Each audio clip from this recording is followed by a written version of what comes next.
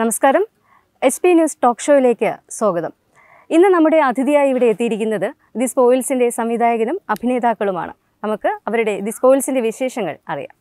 Sir the spoils എന്ന സിനിമയെക്കുറിച്ച് എന്തൊക്കെയാണ് പറയാനുള്ളത്? എന്തൊക്കെ വിശേഷങ്ങളാണ്? അതായത് ഞങ്ങൾക്ക് അറിയേണ്ടതെന്ന് പറയുമ്പോഴത്തേക്ക് അണിയറ വിശേഷങ്ങൾ അറിയണം അഭിനേതാക്കളുടെ ആ ഒരു ടൈം വിശേഷങ്ങൾ അറിയണം. ഇപ്പം ഇവിടെ അഞ്ജലി അമീറുണ്ട് റഹീം സാറുണ്ട് അതുപോലെ തന്നെ പ്രീതി ഉണ്ട് മഞ്ജു ദിവാകർ സാറുണ്ട് അപ്പം ശരിക്കും ഞങ്ങളുടെ പ്രേക്ഷകർക്ക് ഇത് സ്പോയിൽസിനെ കുറിച്ച് അറിയാനായിട്ട് ഒത്തിരി താല്പര്യമുണ്ട്.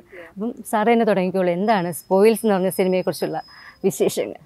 സ്പോയിൽസ് എന്ന് പറഞ്ഞു കഴിഞ്ഞാൽ യഥാർത്ഥത്തിൽ നമ്മൾ അതിന്റെ നശിപ്പിക്കുക എന്നുള്ള ഒരർത്ഥമാണ്. അല്ലേ? വേറെ ഒരുപാട് മീനിങ്സുകളുണ്ട് പക്ഷെ നമ്മൾ ഇതിനകത്തൊരു ഇമ്പോർട്ടന്റ് എടുത്തിരിക്കുന്നത് വേസ്റ്റ് എന്നുള്ളതാണ്. കാരണം പറഞ്ഞു കഴിഞ്ഞാൽ അതാണ് അതിന്റെ ഒരു ഈ സിനിമയായിട്ടൊരു കണക്റ്റഡ് ആയിട്ട്. ദ സ്പോയിൽസ് എന്ന് പറയുന്നത് നമ്മൾ വേസ്റ്റ് എന്നാണ് അതിനകത്തൊരു ഇത് ഉദ്ദേശിക്കുന്നത്. ഇത് ഇത് ഈ സിനിമയിലേക്ക് വരാനുള്ളൊരു കാരണം എന്ന് പറയുന്നത് ആയിരത്തി തൊള്ളായിരത്തി തൊണ്ണൂറ്റി അഞ്ചിൽ ഒരുപാട് പല ന്യൂസ് ചാനലുകളും പത്രങ്ങളും റിപ്പോർട്ട് ചെയ്ത ഈ ഹോസ്പിറ്റലുകളിലൊക്കെ ഉപേക്ഷിക്കപ്പെടുന്ന പ്രായമായ ആൾക്കാരെ കുറിച്ചിട്ടുള്ള നമ്മൾ ഒരു വലിയൊരു ചർച്ചയായിട്ടുണ്ട്. അതായത് വാർദ്ധക്യകാലത്ത് ഉപേക്ഷിക്കപ്പെടുന്നവരെ ഉദ്ദേശിച്ചു അതെ അതെ. അങ്ങനെ ഒരു അങ്ങനെ ഒരു വാർത്തയുടെ ബേസ് ചെയ്തിട്ടാണ് ഈ ഒരു സിനിമയുടെ ഒരു സ്ക്രിപ്റ്റ് ആരംഭിക്കുന്നത്. അപ്പൊ ഈ ഒരു കഥ വന്നതിന് ശേഷം എന്നോടൊപ്പം അനന്തു ശിവൻ എന്ന് പറയുന്ന ഒരു കോഡ് റൈറ്ററോട് ഉണ്ട് അനന്തും കൂടെയാണ് എന്നെ സപ്പോർട്ട് ചെയ്ത സംഭാഷണത്തിൽ അപ്പോൾ ഞാൻ നമ്മൾ അതിന്റെ ഒരു കഥ ഞാൻ ആദ്യം പ്ലാൻ ചെയ്യുന്നു. അതിന്റെ തിരക്കഥയിലേക്ക് വരുന്നു.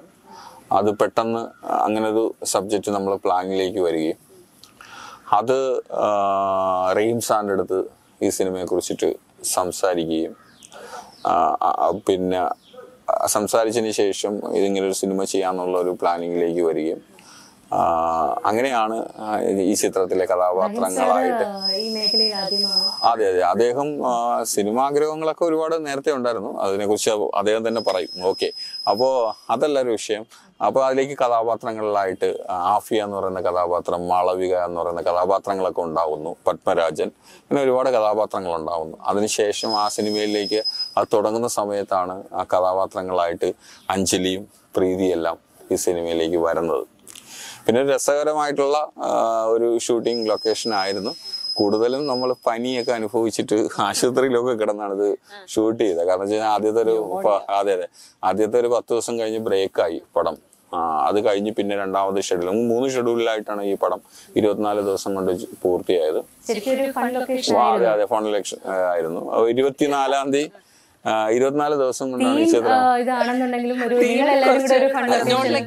തീം കുറച്ച് സീരിയസ് ആണ്. ബട്ട്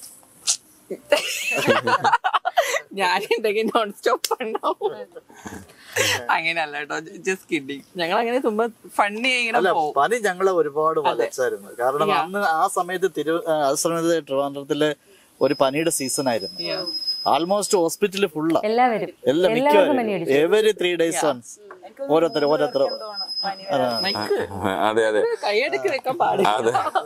എനിക്ക് മൂന്നോ നാലോ പേർക്ക് മാത്രമേ ഉള്ളൂ പനി വരാതിരുന്നത് ബാക്കി എല്ലാവർക്കും പ്രീതിക്ക് പനി ഉണ്ടായിരുന്നില്ല. പനി പ്രീതിക്ക് ഉണ്ടായിരുന്നു? വന്ന സമയത്ത് പ്രീതി കുറെ മെഡിസിൻ ഒരു ഒരുപാട് ഒരു ബണ്ടിൽ മെഡിസിനും കൊണ്ടുവന്നത് എനിക്ക്? സംശയമുണ്ട് അത് ഇതുവരെ ഞാൻ റിവീൽ ചെയ്യാത്തൊരു കാര്യമാണ്. ബണ്ടിൽ മെഡിസിനും കൊണ്ട് അവൾ വന്ന് കയറിയത്.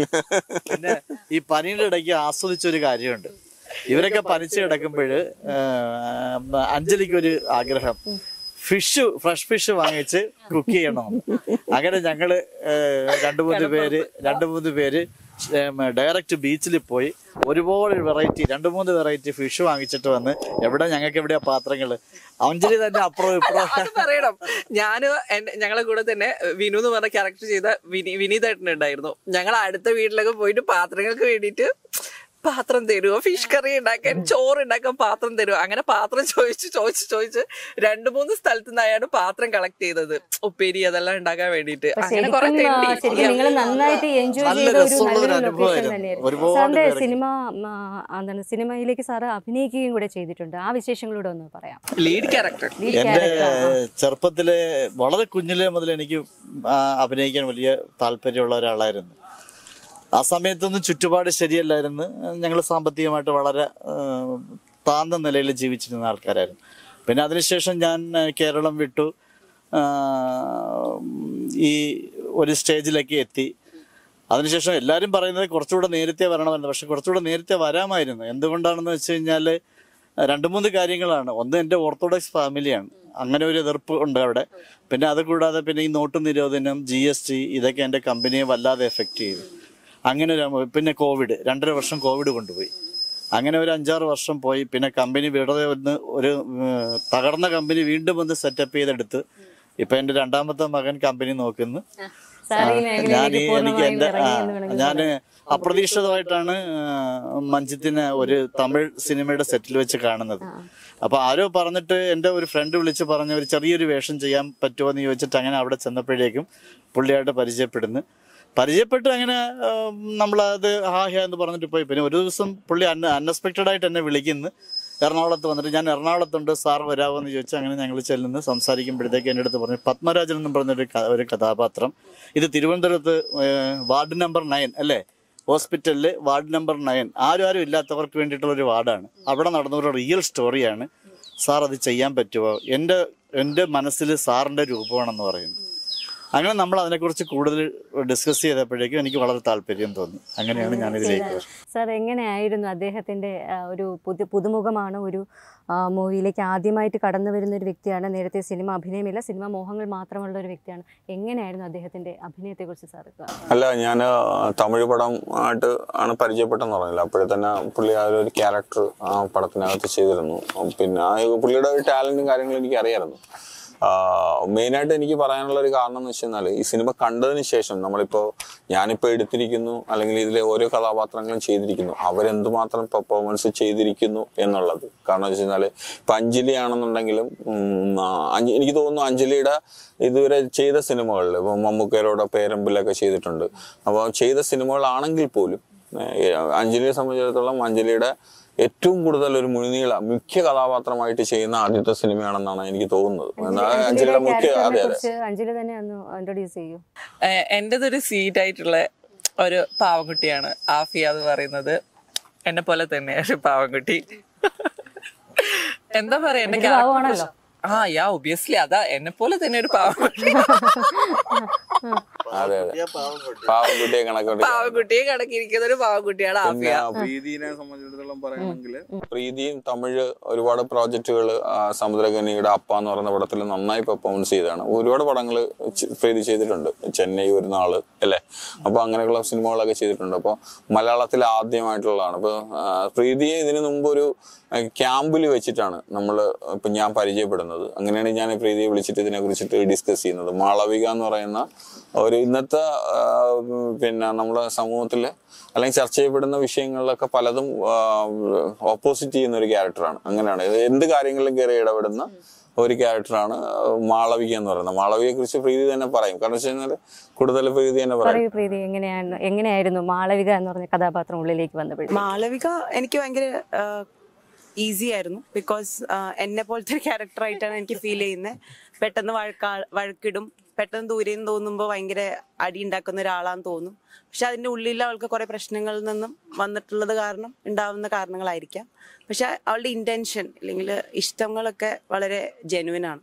സോ അതുപോലെ തന്നെയാണ് മാളവികയുടെ ക്യാരക്ടർ അതായത് നമ്മൾ ഓരോ കാര്യങ്ങളിലേക്ക് ഇടപെടുമ്പോഴത്തേക്ക് അവിടെ നിന്നുണ്ടാകുന്ന പ്രശ്നം. ആ ബിക്കോസ് നമ്മളിങ്ങനെ ഓപ്പൺ ആയിട്ട് സംസാരിക്കുമ്പോൾ റെബലിയസ് ആയിട്ട് സംസാരിക്കുമ്പോൾ ആൾക്കാർ വിചാരിക്കും okay there is something wrong with this girl or she's like opposing about everything പക്ഷെ അങ്ങനത്തെ ഒരു ക്യാരക്ടർ ആണെങ്കിലും അവളുടെ ജെനുവിനിറ്റി ഈസ് വെരി ഇമ്പോർട്ടന്റ് എന്താണ് ഇങ്ങനെ ദേഷ്യപ്പെടുന്നത് നമ്മൾ നോക്കാറില്ലല്ലോ. പൊതുവെ പെട്ടെന്ന് പുറത്തുനിന്ന് നോക്കുമ്പോൾ ഓ എന്തിനോ ചൂടാവുന്നു എന്നല്ലേ ചിന്തിക്കത്തുള്ളൂ. പക്ഷെ ഈ ക്യാരക്ടറിന് അതിനായ റീസൺസ് ഉണ്ട്.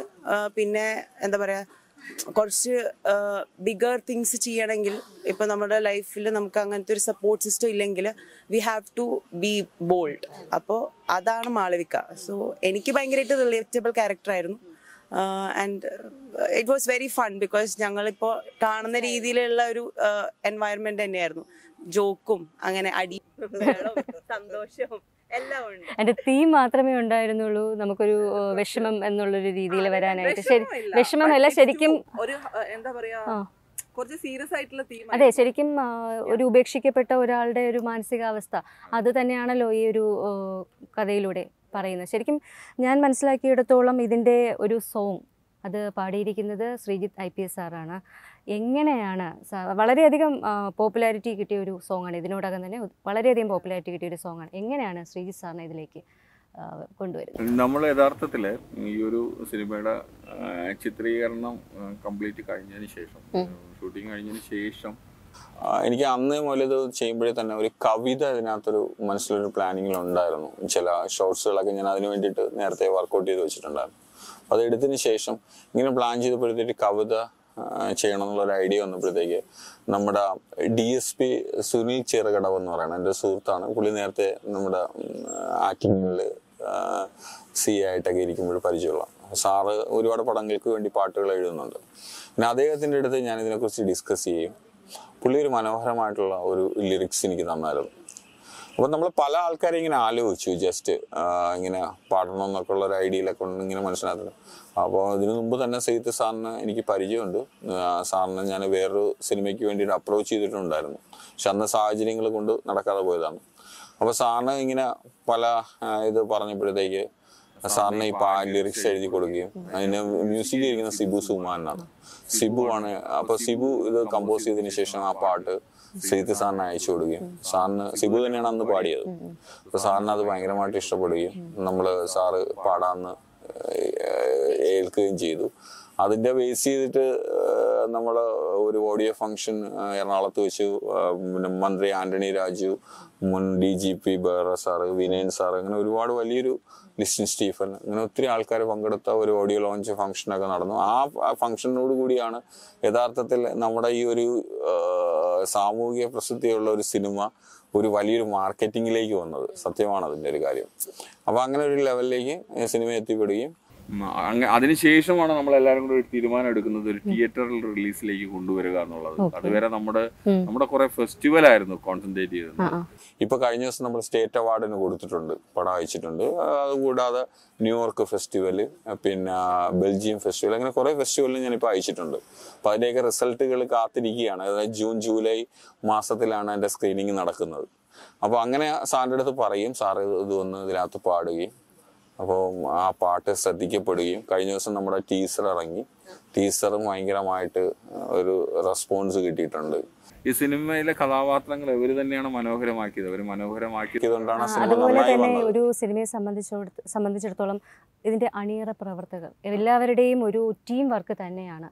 ഒരു സിനിമ എന്ന് പറയുന്നത്. അപ്പം അവരെക്കുറിച്ചൊക്കെ ഒന്ന് പറയാൻ ഇതിന്റെ അണിയറ പ്രവർത്തകരെന്ന് പറയുന്നത് സതീഷ് കതിർവേൽ ചെന്നൈയിൽ പുള്ളിയാണ് ഇതിന്റെ മനോഹരമായിട്ടുള്ള ഫ്രെയിമുകൾ ഒപ്പിയെടുത്തത് ഇത് എഡിറ്റ് ചെയ്തിരിക്കുന്നത് ബി- ബിജിലേഷ് കെ ബി ആണ്.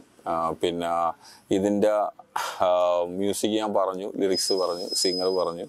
പിന്നെ നമ്മുടെ മേക്കപ്പ് മാൻ എന്ന് പറയുന്ന നമ്മുടെ ആദ്യത്തെ ഷെഡ്യൂളിൽ സബിരാജാണ് വർക്ക് ചെയ്തത്. പക്ഷെ ആദ്യത്തെ ഒരു ഷെഡ്യൂൾ മാത്രമേ അദ്ദേഹം ഉണ്ടായുള്ളൂ. അദ്ദേഹം മരണപ്പെട്ടു പോയി. അതിനുശേഷം അദ്ദേഹത്തിന്റെ ശിഷ്യന്മാർ തന്നെയാണ് ഈ പടം കംപ്ലീറ്റ് ചെയ്തത്. അദ്ദേഹത്തിന്റെ പേര് തന്നെയാണ് വെച്ചിരിക്കുന്നത്. അദ്ദേഹത്തിന് ഈ സമയം നമ്മൾ ഓർക്കുന്നുണ്ട്. പല കാര്യങ്ങളും നമ്മൾ ഓർത്തുകൊണ്ട് തന്നെ പോവുകയാണ്. അപ്പോൾ സിബി ആണ് ഇതിന്റെ ഒരു തുടക്കകാലത്തുണ്ടായിരുന്നത്. പിന്നെ അതിനുശേഷം സതീഷ് പാരിപ്പള്ളി ഇതിന്റെ കോസ്റ്റ്യൂമർ ഇതിന്റെ ആർട്ട് ചെയ്തിരിക്കുന്ന അനീഷ് അമ്പൂരിയാണ്. പിന്നെ ഇത് സെക്കൻഡ് യൂണിറ്റ് ക്യാമറ ചെയ്തിരിക്കുന്ന വിനിൽ വിജയ് ആണ്. അങ്ങനെ പിന്നെ ആക്ടിങ്ങിലുള്ള കുറേ സുഹൃത്തുക്കളും പിന്നെ അഖിൽ കൗലൂര് പിന്നെ ഷിജി അക്ഷയ് ജോഷി വിനീത് മോഹൻ അങ്ങനെ സജിത് ലാൽ സാബു നീലകണ്ഠൻ അങ്ങനെ ഒത്തിരി ആൾക്കാർ ഇതിനകത്ത് ഒരുപാട് ഏകദേശം ഒരു തൊണ്ണൂറ് ശതമാനം പുതിയ ആൾക്കാർ ഈ സിനിമയ്ക്കകത്ത് അഭിനയിച്ചിട്ടുണ്ട്.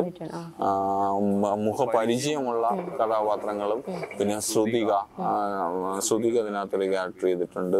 പിന്നെ ദർശ ഒരു ക്യാരക്ടർ ചെയ്തിട്ടുണ്ട്. അങ്ങനെ ശോഭ നായർ അങ്ങനെ ഒത്തിരി ആൾക്കാർ ഷൈജു കല അങ്ങനെ ഒരുപാട് പേര് ഇതിനകത്ത് അഭിനയിച്ചിട്ടുണ്ട്. അവരെല്ലാം ഇതാണ്. ഇനി സാറിനോടാണ് അതായത് ഒരു പ്രൊഡ്യൂസർ എന്നുള്ള നിലയിൽ എങ്ങനെയാണ് ഈ ഒരു സിനിമയുടെ കാര്യങ്ങളൊക്കെ എങ്ങനെയാണ് നോക്കി അതിനോടൊപ്പം അഭിനയിക്കുകയും വേണം അതുപോലെ സാറ് പ്രൊഡ്യൂസറുമാണ് രണ്ടും ഒരേ സമയം ഒരേ എന്താണ് രണ്ടും ഒരേ റോൾ സമയം ചെയ് ചെയ്തുകൊണ്ടിരിക്കുകയാണ്. റോളുകൾ രണ്ട് റോളാണ് പക്ഷെ ഒരേ സമയം ചെയ്തുകൊണ്ടിരിക്കുന്നത്. എങ്ങനെയാണ് അത് മാനേജ് ചെയ്തത്? സത്യത്തിൽ എനിക്കങ്ങനെ വലിയ ടെൻഷനൊന്നും അനുഭവിക്കേണ്ടി വന്നില്ല. ടെൻഷൻ അനുഭവിച്ചത് കംപ്ലീറ്റ് സംവിധാനം മഞ്ജിതാണ്. അതിന് എനിക്ക് എന്റെ ഹാർട്ടിൽ നിന്ന് ഇപ്പോഴും ആ എനിക്കത് മറക്കാൻ പറ്റില്ല. കാരണം അത്രത്തോളം ഒരുപാട് കഷ്ടപ്പെട്ട്. അതിനിടയ്ക്ക് പുള്ളി ഒരു പത്ത് പതിനൊന്ന് ദിവസം പനി വന്ന് കിടന്നുപോയി. വളരെ അവശനായിപ്പോയി. പക്ഷെ എന്നിരുന്നാലും വീണ്ടും അതിനേക്കാളും വലിയ ഒരു തിരിച്ചുവരവിൽ അതിനേക്കാളും വലിയൊരു ഇതിലായിട്ടാണ് വന്നത്. പക്ഷെ എന്തെല്ലാം പറഞ്ഞാലും ശരി ഈ ഈ സിനിമ ഈ സിനിമയുടെ ഏതാണ്ട് ഏത് സൈഡ് സംവിധാനം എന്നുള്ള മാത്രമല്ല ഏത് സൈഡ് നോക്കിയാലും അതിന്റെ ഏതാണ്ട് സെവന്റി ഫൈവ് ക്രെഡിറ്റും പുള്ളിക്ക് തന്നെയാണ്.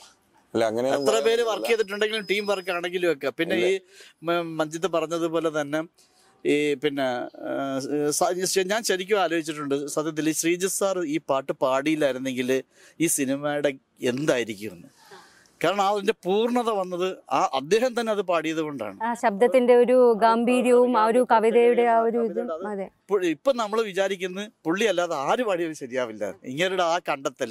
അത് എനിക്ക് ഇങ്ങനെ ഭയങ്കര വലിയ സന്തോഷം തന്നെ. കാരണം ആദ്യം സാറും തെറ്റിദ്ധരിച്ചിരുന്ന് ഇവർ ഒരു പബ്ലിസിറ്റിക്ക് വേണ്ടിയിട്ടാണോ എന്നെ വിളിക്കുന്നതെന്നൊക്കെ. പക്ഷെ അതിൽ നിന്നൊക്കെ വ്യത്യസ്തമായിട്ട് അദ്ദേഹത്തിന് ആ ഒരു മുത്തിനെ കണ്ടെടുക്കുകയായിരുന്നു തീർച്ചയായിട്ടും തീർച്ചയായിട്ടും. ആ ക്രെഡിറ്റ് ഇനി ആ ഹിസ്റ്ററിയിൽ പുള്ളിക്ക് തന്നെയാണ്. ആദ്യം ആദ്യമായിട്ട് സിനിമയിൽ പാടിച്ചു എന്നുള്ളൊരു ഹിസ്റ്ററി പുള്ളിയുടെ പേരിൽ തന്നെയാണ്. അതിൽ യാതൊരു സംശയമില്ല അതേപോലെ തന്നെ ആ പാ ആ പാട്ട് വൈറലായത് ഏതാണ്ട് വൺ മില്യൺ ആകാറായത്. അപ്പോൾ അതുകൊണ്ട് തന്നെ ആ ആ പാട്ട് ഒഴിച്ചു നിർത്തി ചിന്തിക്കാൻ പോലും പറ്റാത്ത ഒരു ഇതാണ്. ആ ആ പിന്നെ മഞ്ജിത്ത് പറഞ്ഞതുപോലെ തന്നെ അതിൽ ആ ഇതിന്റെ ഇതിന്റെ ഓഡിയോ റിലീസ് ചെയ്യുന്ന ഫംഗ്ഷനിലാണ് അതിന്റെ ആ റെസ്പോൺസ് കണ്ടിട്ട് ഞങ്ങൾ അങ്ങോട്ടും ഇങ്ങോട്ടും തീരുമാനിക്കുന്നത് ഈ പടം തിയേറ്ററിൽ ഇറക്കാം ശരിക്കും ഞങ്ങളുടെ പ്രേക്ഷകർക്ക് എന്തായാലും ആ മൂവി ഒരു അനുഗ്രഹം തന്നെ ആയിരിക്കും എന്ന് തോന്നുന്നു. കാര്യം ഇത്രയും വലിയൊരു ടീം വർക്കിന്റെ ഒരു വലിയൊരു ടീം വർക്കിന്റെ അതും ഒരു സമകാലിക പ്രസക്തിയുള്ള ഒരു സബ്ജക്റ്റാണ് ഇതിനകത്ത് കൊണ്ടുവന്നത്. എന്താണ് സാറിന് പ്രേക്ഷകരോട് പറയാനുള്ളത്? സാറ് പറഞ്ഞത് ഇപ്പൊ ഞാനിത് ചെയ്തു എന്നുള്ളതല്ല. കാരണം വെച്ച് കഴിഞ്ഞാൽ എന്റെ കൂടെ ഹെൽപ്പ് ചെയ്യുന്നുണ്ടായിരുന്നു. കാരണം വെച്ചാൽ ഈ തുടക്കം മുതൽ ഈ സിനിമയുടെ സബ്ജക്റ്റ് ആലോചിക്കുമ്പോൾ മുതൽ ഇതിന്റെ പ്രൊഡക്ഷൻ കൺട്രോളർ എന്റെ ബ്രദറാണ് വിനോദ് കടക്കൽ. ആ പുള്ളി സഹോദരനെ പോലെയാണ്. പുള്ളി പുള്ളി തുടക്കം മുതൽ എന്റെ അടുത്ത് ഈ നിമിഷം വരെ ഇപ്പോഴും നമ്മളെ ക്യാമറയുടെ തൊട്ട് ബാക്കിൽ നിൽപ്പുണ്ട്. അപ്പൊ പുള്ളി ഉൾപ്പെടെ ഉള്ള ഒരുപാട് പേരുടെ സപ്പോർട്ടാണ്. സാർ ഇത് ചെയ്തെങ്കിലും അവരുടെ സപ്പോർട്ട് രതീഷ്. പക്ഷേ എന്തൊക്കെ പറഞ്ഞു കഴിഞ്ഞാലും അവരത് അത്രയും ഇതായിട്ട് പറയുന്നുണ്ടെങ്കിൽ സാറിന്റെ ഭാഗത്തു നിന്നുണ്ടായ ഒരു സപ്പോർട്ട് കൊണ്ട് തന്നെ ആയിരിക്കുമല്ലോ അത് പറയുന്നത്.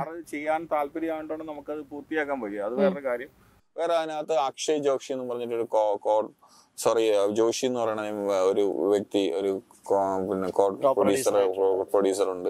അപ്പൊ ഒന്ന് ആ പുള്ളിയുടെയൊക്കെ ഹെൽപ്പും കൂടെ ഉള്ളത് കൊണ്ടാണ് സാറിന്റെ സാറും അതേ കണക്ക് നിന്നത് കൊണ്ടാണ് നമുക്ക് എനിക്കും വിനോദിനും അല്ലെങ്കിൽ നമ്മളെ ടീം എല്ലാവർക്കും ചേർന്നിട്ട് വ്യത്യസ്തമായിട്ട് ഒരു മലയാള ഇന്ന് വരെ മലയാള സിനിമയുടെ ചരിത്രത്തിൽ ഒരു ഡയറക്ടറും ഒരു ഡയറക്ടറും കൈവെക്കാത്ത എല്ലാ സ്ഥലത്തും പുള്ളി കൈവച്ചിട്ടുണ്ട്. പുള്ളി കഷ്ടപ്പെട്ടിട്ടുണ്ട്. കൈവെക്കുക എന്ന് പറഞ്ഞാൽ കഷ്ടപ്പെട്ടിട്ടുണ്ട്. അത് ബോയിയുടെ ആണെങ്കിൽ ഒരു ചില സമയത്ത് ഫുഡൊക്കെ ചില ഈ നമ്മൾ അൺഎക്സ്പെക്റ്റഡ് ആയിട്ട് ചില ചില സ്ഥലത്ത് ലൊക്കേഷൻ പെട്ടെന്ന് മാറും. അവിടെ ലിമിറ്റഡ് ഫുഡ് നമ്മുടെ ആൾക്കാർക്ക് മാത്രമുള്ള ഫുഡ് കൊണ്ട് കൊണ്ട് കൊണ്ടുവരുള്ളൂ. പക്ഷെ ചിലപ്പോൾ ലോക്കൽസ് വരും. അങ്ങനെ ആകുമ്പോഴേക്കും പുള്ളി മാത്രം എല്ലാവർക്കും ഭക്ഷണം കഴിച്ചതിന് ശേഷം മാത്രം അങ്ങനെയൊക്കെയുള്ള ഒരുപാട് നല്ല ഗുണങ്ങളൊക്കെ ഉണ്ട്. ഞങ്ങളൊക്കെ പ്രീ അഞ്ജലിയെ ഞങ്ങളൊക്കെ നേരത്തെ പോയിരുന്ന് കഴിക്കും. കാരണം പുള്ളി അങ്ങനെയല്ല. എത്ര വിശന്നാലും ശരി തന്നെ അവസാന വ്യക്തിയും കഴിച്ചിട്ടുണ്ടോ എന്ന് ഉറപ്പിച്ചിട്ടൊക്കെ അതൊക്കെ ഒരു നല്ലൊരു ക്വാളിറ്റി ആയിട്ട് എനിക്ക് ഞാൻ മനസ്സിലാക്കിയിട്ടുണ്ട്. എന്താണ് പ്രേക്ഷകരോട്? അതായത് ഇരുപത്തി മൂന്നാം തീയതി പടം തിയേറ്ററിൽ വരികയാണ് ഫെബ്രുവരി ഇരുപത്തി ഒന്നാം അപ്പൊ മാഡം എന്തായാലും പടം കാണില്ല തീർച്ചയായിട്ടും. തീർച്ചയായും എനിക്ക് ഇപ്പം ഇത് കേട്ട ഉടനെ തന്നെ ശരിക്കും ആ മൂവി കാണണം. അല്ലെങ്കിൽ ആ ടീം വർക്കിന്റെ എങ്ങനെയാണ് എന്ന് എനിക്ക് അറിയാനുള്ളൊരു നന്നായിട്ടൊരു ആഗ്രഹമുണ്ട്. അതുപോലെ തന്നെ ആയിരിക്കുമല്ലോ ഞങ്ങളുടെ പ്രേക്ഷകർക്കും. തീർച്ചയായിട്ടും അവരും ആ ഒരു മൂവി കാണാനായിട്ടിരിക്കുക എന്താ അതിനെക്കുറിച്ചൊരു ചെറിയൊരു മൂവിയെ കുറിച്ച് ഒന്നുകൂടെ ഒന്ന് നമുക്ക് ഈ സിനിമയെ കുറിച്ചിട്ട് പറയാനുള്ള ഒരു മെയിൻ കാര്യം എന്ന് വെച്ച് കഴിഞ്ഞാൽ ഇരുപത്തി മൂന്നാം തീയതി നമ്മുടെ ഒരു ടീമിന്റെ ഒരു ചെറിയൊരു സിനിമ വരികയാണ്. നമ്മൾ ആരും വലിയവരൊന്നും അല്ല വേസ് ചെയ്തിട്ട്. നമ്മളെ കൊണ്ട് പറ്റുന്ന ഒരു കുഞ്ഞു സിനിമ നമ്മൾ ഇരുപത്തി മൂന്നാം തീയതി തിയേറ്ററിലേക്ക് എത്തിക്കുകയാണ്. ഫെബ്രുവരി ഇരുപത്തി മൂന്നാം തീയതി. ആ ഈ സിനിമ നിങ്ങളെ നിരാശപ്പെടുത്തില്ല അത്ര മാത്രമേ നമുക്ക് പറയാനുള്ളൂ. കാരണം വെച്ച് കഴിഞ്ഞാൽ നിങ്ങൾക്ക് എവിടെയെങ്കിലുമൊക്കെ നിങ്ങളുടെ ജീവിതത്തിൽ ചെറുതായിട്ട് ടച്ച് ചെയ്തു പോയ കുറച്ച് കാര്യങ്ങൾ ഒന്ന് ഓർമ്മപ്പെടുത്താൻ ഈ സിനിമ കൊണ്ട് കഴിയും. എന്ന് മാത്രമേ നമ്മൾ പറയുന്നുള്ളൂ. ഒരു ഭയങ്കര സംഭവമാണ് അത് ഇത്. ഒന്നുമില്ല ഏ? നമ്മുടെ എന്റെ ടീം പ്രീതി ആണെങ്കിലും റെയിൻ സാർ ആണെങ്കിലും അഞ്ജലി ആണെങ്കിലും ഇതിൽ അഭിനയിച്ചിരിക്കുന്ന മറ്റു പലരും വിനീതാണെങ്കിലും എല്ലാവരും അക്ഷയ് ജോഷി ആണെങ്കിലും എല്ലാ ആൾക്കാരും അവരവരുടെ ഭാഗം അവരെ കൊണ്ട് കഴിയുന്ന രീതിയിൽ ഏറ്റവും ബെറ്റർ ആയിട്ട് അവർ ചെയ്തിട്ടുണ്ട്. അതിന്റെ റിസൾട്ട് ഇനി തരേണ്ട പ്രേക്ഷകരാണ് നമ്മളുടെ കയ്യിൽ നിന്ന് പ്രേക്ഷകർക്ക് വിട്ടുകൊടുത്തു. എല്ലാവരും പ്രേക്ഷകർ വന്ന് തീരുമാനിക്കുക. അവർ തരുന്ന സപ്പോർട്ടാണ് ഈ സിനിമയുടെ വിജയം. നമ്മളുടെ ഓരോരുത്തരുടെയും വളർച്ച. ഇത്രയേ ഉള്ളൂ. സിമ്പിൾ മഞ്ജിത് സാർ പറഞ്ഞു രഹിമിക്ക പറഞ്ഞ പോലെ മഞ്ജിത് സാറിന്റെ കുറെ ഹാർഡ് വർക്ക് ഇതിലുണ്ട്. അപ്പോ ഇത് തിയേറ്ററിൽ വരിക എന്ന് പറയുമ്പോൾ തന്നെ ഞങ്ങൾക്ക് ഭയങ്കര സന്തോഷമാണ് ബിക്കോസ് ഇത് ഒ ടി ടി ഇല്ലെങ്കിൽ അവാർഡ്സിന് മാത്രം പോകുമെന്ന് വിചാരിച്ച ഒരു മൂവിയാണ് അപ്പോ ഇത് പ്രേക്ഷകർ വന്ന് തിയേറ്ററിൽ കണ്ടാലേ ഞങ്ങൾക്ക് അതിന്റെ ഒരു സന്തോഷം ഉണ്ടാവുള്ളൂ. അപ്പോൾ ഞാൻ വളരെയേറെ ആഗ്രഹിക്കുന്നത് എന്താണെന്ന് വെച്ചാൽ എല്ലാവരും വന്ന് തിയേറ്ററിൽ വന്ന് പടം കാണണം ഞങ്ങളെ സപ്പോർട്ട് ചെയ്യണം. ബിക്കോസ് അപ്പോഴാണ് ഞങ്ങൾക്കൊരു ഹാപ്പിനെസ് ഈ ഒരു കഷ്ടപ്പെട്ടതിന്റെ ഒരു റിസൾട്ടായിട്ട് നമുക്ക് തോന്നുള്ളൂ. അപ്പോൾ അതിനുവേണ്ടി എല്ലാവരും തിയേറ്ററിൽ വന്ന് കാണണമെന്ന് ഞാൻ ആഗ്രഹിക്കുന്നു. ഇത് തന്നെ ഇവരൊക്കെ പറഞ്ഞ പോലെ തന്നെയാണ് പറയാനുള്ളത്. ഞങ്ങളെ ഒരുപാട് കഷ്ടപ്പാടുണ്ട് ആ മൂവിയിൽ പിന്നെ എസ്പെഷ്യലി ഇപ്പൊ ട്രെയിലറൊക്കെ കണ്ടപ്പോ പലരും ചോദിച്ചു. ഭയങ്കര സസ്പെൻസ് ആയിട്ട് ക്രൈം ത്രില്ലർ വല്ലതും ആണോ എന്ന് ക്രൈം ത്രില്ലർ ഒന്നുമല്ല ഒരു ഫാമിലി ഓറിയന്റഡ് മൂവി തന്നെയാണ്. സോ എല്ലാവരും വന്ന് കാണുക ഞങ്ങളെ സപ്പോർട്ട് ചെയ്യുക ദാറ്റ്സ് ഓൾ അതായത് വളരെ ചുരുക്കി പറയുകയാണെങ്കിൽ ഈ ഈ സ്റ്റോറി പറ്റി പറയും സിനിമയെ പറ്റി പറയുകയാണെങ്കിൽ നമ്മളുടെ ഇപ്പോഴ് ഇപ്പോഴത്തെ ഇപ്പോഴത്തെ പ്രസക്തി എന്ന് നേരത്തെ പറഞ്ഞിരുന്നല്ലോ മാഡം. അതുപോലെ നമ്മുടെ പത്ത് വീടെടുത്തു കഴിഞ്ഞാൽ ആ ഒരു വീട്ടിൽ ഇതുണ്ട്. അതാണ് ഇതിന്റെ അതിന്റെ പ്രസക്തി അതാണ്. നമ്മുടെ ഏ- ഏത് കേരളത്തിലെ ഏത് പത്ത് വീടുകൾ എടുത്താലും ഒരു വീട്. ശരിക്കും ഇപ്പൊ ഇപ്പോൾ ആരും തന്നെ നാട്ടിലില്ലാത്തൊരവസ്ഥയാണ്. കുട്ടികളെല്ലാവരും വിദേശത്തായിരിക്കും പേരൻസ് ഒറ്റയ്ക്കായിരിക്കും അവരുടെ കാര്യം നോക്കാനോ ശ്രദ്ധിക്കാനോ അവരുടെ സങ്കടം കേൾക്കാനോ ഒന്നും ആരുമില്ല. ഒന്ന് ഫോൺ ചെയ്തിട്ട് ഒരു ഗുഡ് മോർണിംഗ് പറയാൻ പോലും അങ്ങനെ അങ്ങനെ പോലും ആരുമില്ല. ഞാൻ കേട്ടിട്ടുള്ള ഒരു കാര്യമാണ്. ഒരു ഒരു വൃദ്ധനായൊരു അപ്പൂപ്പൻ പറഞ്ഞിട്ടുള്ളൊരു കാര്യമുണ്ട്. എന്നെ എല്ലാ ദിവസവും ഒരു പത്രക്കാരനോട് പറഞ്ഞു എല്ലാ ദിവസവും രാവിലെ നീ വന്ന് എന്റെ വീട്ടിനകത്ത് വന്ന് നീ പത്രം ഇടണേ. എന്നിട്ട് കോളിംഗ് ബെല്ല് അമർത്തി ഞാൻ എടുത്തിട്ട് പോകുന്നവരെ നീ ഒന്ന് കാത്തു നിൽക്കണേ. എന്ന് പറഞ്ഞിട്ടുണ്ട്. അതിന്റെ ഒരു പുള്ളി അത് പറഞ്ഞൊരു സാരാംശം എന്ന് പറയുന്നത് നാളെ അദ്ദേഹത്തിന് എന്ത് സംഭവിക്കുമെന്ന് അറിയില്ല. കാര്യം ആ പത്രക്കാരൻ വഴിയെങ്കിലും അത് അറിയട്ടെ എന്നെ കണ്ടില്ലെങ്കിൽ അറിയട്ടെ ഉണ്ടാവില്ല ഉണ്ടാകില്ല എന്നുള്ളതാണ് അതിനാണ് ഇങ്ങനെ ഒരു സിനിമ എടുക്കാൻ തോന്നിയതിലും അപ്പൊ അല്ലെങ്കിൽ ആ ഒരു ഒരു തീം അല്ലെങ്കിൽ അതിന്റെ ഒരു കഥ കഥ കൊണ്ടുവരാനായിട്ട് കഴിഞ്ഞതിലും എനിക്ക് ഒരുപാട് സന്തോഷം നിങ്ങളോട് അറിയിക്കാനുണ്ട്. കാര്യം ഈ പറഞ്ഞ പോലെ തന്നെയാണ് വൃദ്ധരായ ജനങ്ങൾക്ക് വേണ്ടിയിട്ട് അല്ലെങ്കിൽ എല്ലാവരും ഉപേക്ഷിക്കപ്പെട്ട ജനങ്ങൾക്ക് വേണ്ടിയിട്ട് നിങ്ങൾ എടുത്ത ഒരു മൂവി അത് തീർച്ചയായിട്ടും വിജയിക്കട്ടെ എന്ന് ഞാൻ ആശംസിക്കുന്നു. അപ്പോൾ അത് കണക്ക് തന്നെ എച്ച് വിയുടെ ടോക്ക് ഷോയ്ക്ക് നമുക്കൊരു അവസരം തന്ന അതിന്റെ ചാനലിലുള്ള എല്ലാവർക്കും നമ്മുടെ ഭാഗത്തുനിന്ന്. ഓക്കെ നമസ്കാരം. താങ്ക് യു ശരി ഓക്കെ താങ്ക് ഫെബ്രുവരി ഇരുപത്തി മൂന്നാം തീയതിയാണ് ഈ സിനിമയുടെ റിലീസ് വരുന്നത്. ഞാൻ എന്തായാലും ഈ സിനിമ വിശേഷങ്ങൾ കേട്ടതോടുകൂടി ഈ സിനിമ കാണാനായിട്ട് തീരുമാനിച്ചു. നിങ്ങളും ആ സിനിമയ്ക്ക് ഉണ്ടാകുമെന്ന് ഞാൻ പ്രതീക്ഷിക്കുന്നു. Pearl Palace Premium Luxury 4-star Hotel and Club Lounge Mamam Attingel. Multi-cuisine restaurant, conference hall, mini conference hall, lecture rooms, car parking, rooftop restaurant and function area, AC restaurant, executive rooms, banquet hall which can afford nearly 300 to 500 people special facilities for wedding, birthday, get-together celebrations and boardrooms. Pearl Palace Premium Luxury 4-star Hotel and Club Lounge Mamam Attingel.